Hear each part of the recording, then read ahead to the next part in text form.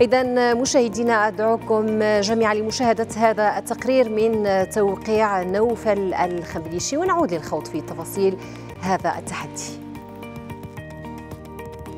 حقق الشباب المغربي خلال العام 2023 إنجازات عديدة في جميع الميادين الاقتصادية والاجتماعية والسياسية والثقافية.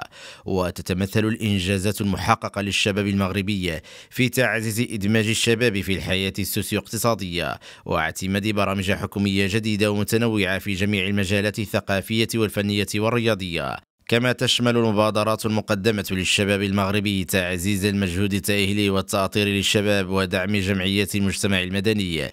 وبفضل المبادرات المقدمة تمكن الشباب المغربي من تعزيز حضوره في جميع المؤسسات والهيئات السياسية والثقافية.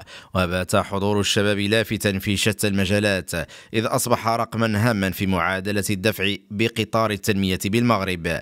الإبداع والابتكار الذي يتميز به الشباب المغربي في مختلف الميادين جانب آخر من الحصيلة الإيجابية للشباب إذ حقق الكثير من الإنجازات في ميادين صناعية وإبداعية وثقافية. كما مكنت الإجراءات وسياسة القرب المعتمدة الشباب المغربي من حامل مشاريع من الولوج لبرامج اقتصادية رائدة تحقق التنمية البشرية الشاملة والمستدامة. وباعتبار الشباب الثروة الحقيقية للأمة يولي المغرب أهمية خاصة لتعليم الشباب حيث يوفر لهم فرصا مختلفة ومتجددة للتعليم تضمن لهم التمتع بحقهم في الحصول على التأهيل المناسب الكفيل بضمان اندماجهم الاقتصادي وتحصيلهم المعرفي وارتقائهم الاجتماعي بما يحصنهم من آفة الجهل والفقر ومن نزوعات التطرف والانغلاق.